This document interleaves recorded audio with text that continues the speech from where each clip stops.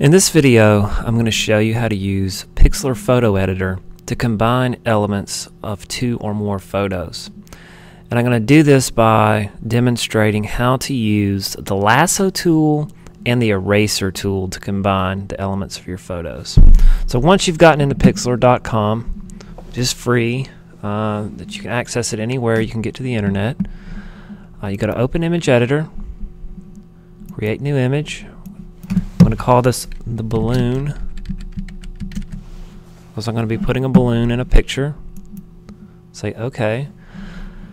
Now the first thing you want to do is you want to find your first picture and my first picture comes to us uh, from Kay Connors off of morguefile.com. Uh, this has been provided uh, as a free public domain stock for uh, photograph. So I want to open that. And now the next thing I'm going to do is I'm going to put a balloon here.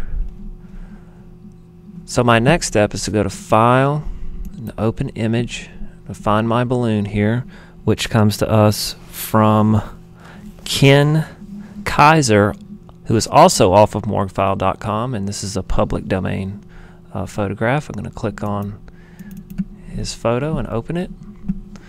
Now, the first thing you can do, the first method of combining uh, two pictures, is to simply use the lasso tool, which is right here. It looks like a, a rope with a loop. And this is going to take a little practice, a little skill for you to get good at. You have to have kind of a steady hand. But you go around the outside of the part of the photo that you want. You're left clicking and holding down on left click. And try to go around it as evenly as possible.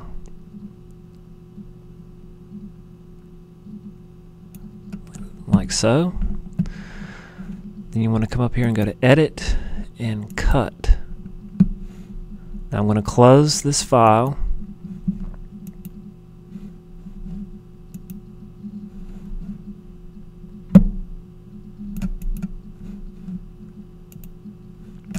which brings us back to our original image.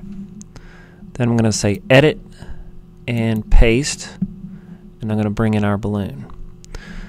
Now the next step is to come over here to edit, left click free transform and you come over here to the corner and you can see those arrows and this is going to allow you to shrink down this image. And then I'm going to come over here to this tool, click yes. And I'm going to move my balloon, position it in the sky. And then I'm going to work with it until it looks right. I think that should do there. And now to really clean up the image and make it look nice, I want to take away these blue edges on the balloon. Now what you do is you come over here to your navigator and this bar here allows you to increase the size of the photo, allows you to zoom in or zoom out. And this red box here is showing you the area that you're seeing in the picture. So I'm going to grab that red box, I'm going to come over here to my balloon, and now that's going to allow you to view the blue that's left over from the other photograph. So what we're going to do uh, to make this look better, to make this look real, is we're going to take the eraser tool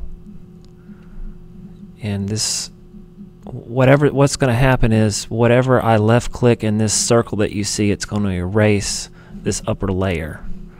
So what I want to do is come up here to the brush and I'll bring it down to about 5 and I'm going to erase this darker blue and what it's going to do is reveal the layer that's below. Because basically what you've done when you when we pasted the balloon we just put it down on top of the picture of the skyline. So you just go around the outside edges of the balloon or whatever other image that you've decided to paste into another picture and you even it up.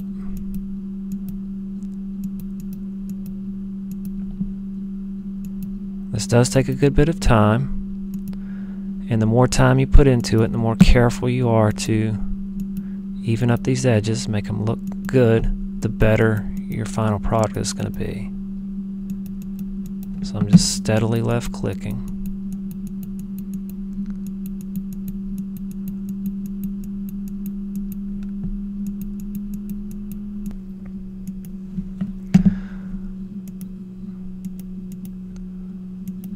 Now once you've gone a ways and you think it's looking good, you come back over here to the navigator and you zoom back out and it's going to give you a feel. This is where you're really going to see whether or not uh, you've done enough, and that looks pretty good.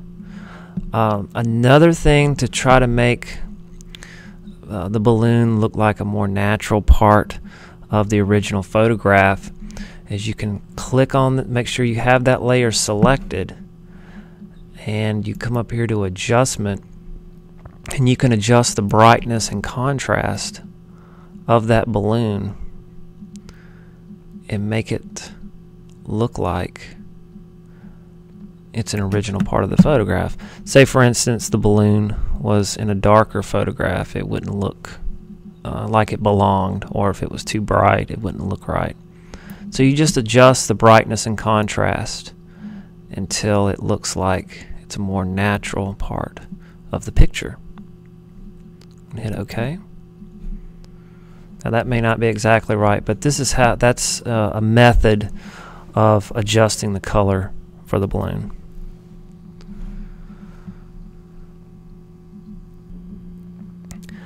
Now to demonstrate the second method, I'm going to create a new image.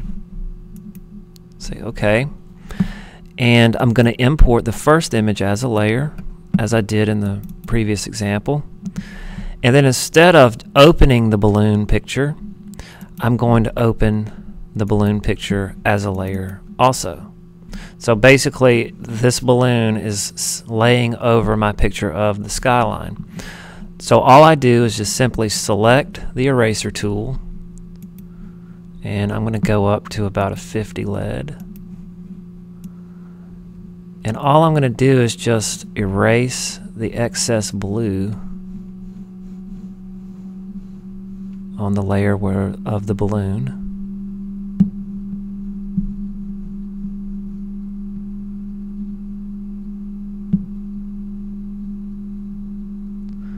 And I'm going to erase everything but the part of the picture I want to be in the picture with the skyline.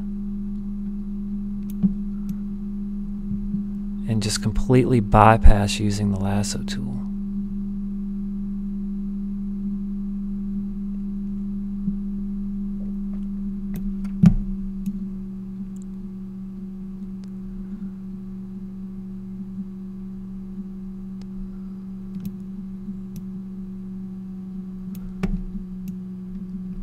Now, as with the pre previous method, you're going to position the balloon where you want it. Go to Edit, Free Transform, shrink the picture down until it's the size that you want it, position it, and then come back over here to the navigator and zoom in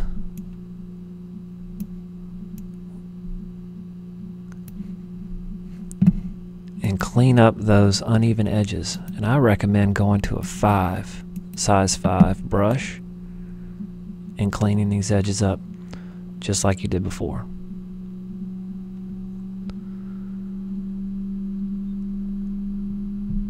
And again, um, the more time you spend, uh, the more exact you are, the more careful you are, uh, the better your final product is going to look. Well, those are the two basic uh, methods of combining a photo, and that's uh, one of the functions of the lasso tool. Uh, until next time, uh, have fun with Pixlr.